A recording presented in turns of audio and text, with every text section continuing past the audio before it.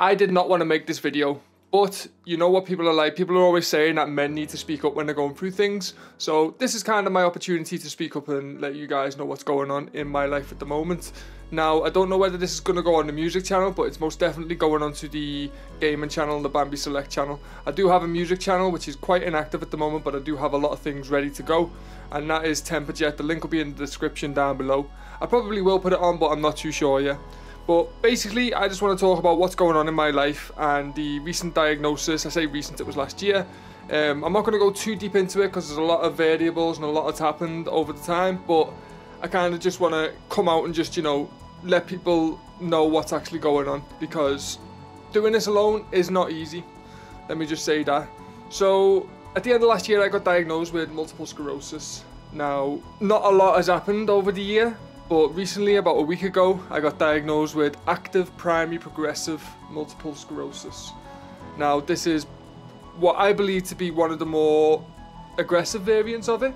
So you can get primary progressive, you can get relapse and remitting, you can also get like benign and things like that. But mine is active primary progressive, which I believe is one of the worst ones to have. Now, this is affecting my whole life. Some symptoms that I do get are extreme fatigue, I have balance issues. There hasn't been much change to the vision yet, but I believe that's the next thing to probably go. There's not a lot of change in there. It's just, you know, it, it does feel different, but I can still read and write perfectly well, you know what I mean? I get a lot of buzzing sensations, like even now. This whole thing just doesn't switch off. With primary progressive MS, it's more like a, a gradual decline in your, um, sorry about that, it's a gradual decline in your um, mobility and um, cognitive functions and things like that. I also get a lot of brain fog as well. So I am going through a lot of things, but um, this is not by any means trying to get any clout or any sympathy or anything like that because that doesn't really go with me. That's why I haven't really spoken out over things, you know what I mean, in the past. I- I'm not about that. I just want to let people know what's going on so people have got more of an understanding what it is I'm actually going through. Now, I still am going to be trying to create loads of content and stuff like that. This is what I want to do, like this or music. Like, they're my two passions. I like gaming and I like uh, making um, music. So, they're the two things that I want to do with my life ultimately. And getting a diagnosis like this makes you realize that, you know, you, you need to be putting a lot more into it to get something out of it. I, I mean, I'm rambling now. What am I trying to say here? What am I trying to say? Basically, I feel like I've wasted a lot of time now, and this diagnosis is actually waking me up to say, look, you haven't got a lot of time to figure this out. I mean, oh my god, I'm getting this totally wrong, but MS is not like a terminal illness. Like, people live healthy lives. I'm starting a new treatment next week called Ocrevus. It's a long name for it, but um, it's not a terminal illness by any means, but it is. The, it can be disabling. You know what I mean? Like I could have to walk with a cane in the future or be in a wheelchair. So, um, it's a lot to take in. I forgot where I was up to now, and this is the brain fog again, just kicking in. Like I, I just lose track of what I'm doing and what I'm saying sometimes. It's affecting every single thing in my life, like work, life, home life to an extent.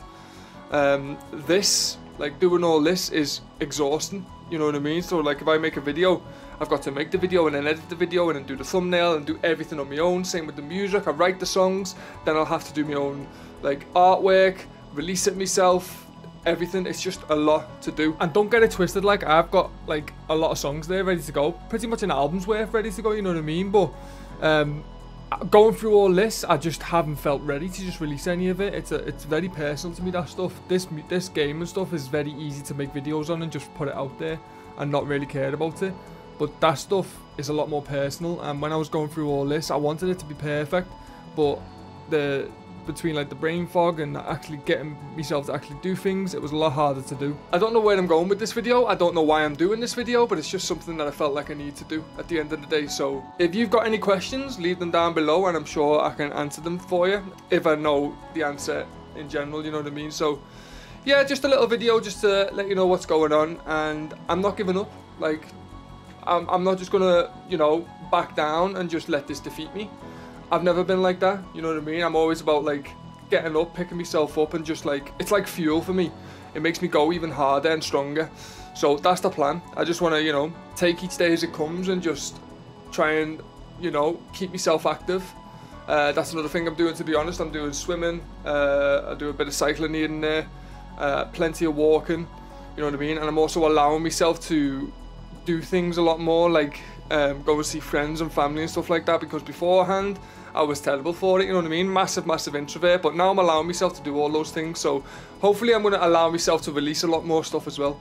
So it starts here. This is a big step for me right now letting people know about my diagnosis and stuff like that because I don't want people thinking any different of me either. And to be totally honest with you as well, I'm kind of freaked out at the prospect of actually releasing something like this. So yeah, I don't know what else to say to be honest, but yeah, I'm going to keep this short because otherwise I'll just ramble on for the next half an hour. So yeah, um, I'll catch you in the next one. Take it easy. Peace.